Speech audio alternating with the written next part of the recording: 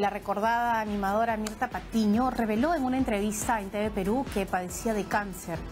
En el programa Lo Grande habló sobre su enfermedad y el gran ánimo que tenía para luchar contra él.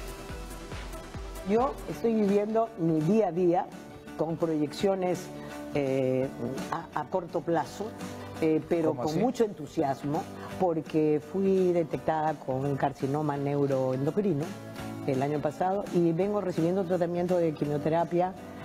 Ya estoy en la décima quimioterapia, parece que lo estamos venciendo.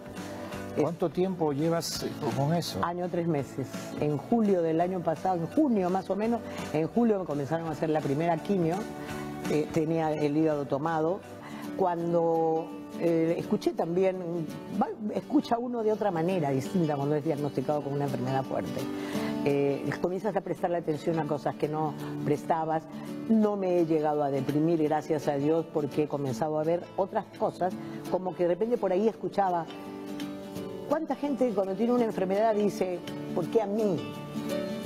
Todos decimos, hasta cuando era chiquita me daba las amigas, ¿por qué a mí? Claro. Pero cuando tuve mi época linda de, de- de- de- de- de popularidad en la televisión, no pregunté, ¿por qué a mí? Claro, porque yo era la porque que, yo soy la, a mí la- me ven. la claro. que me ven, no me buena, buena comparación. Sí, me lo, lo escuché y dije, es cierto, o sea, ¿por qué no me puede tocar? Soy un ser humano normal. No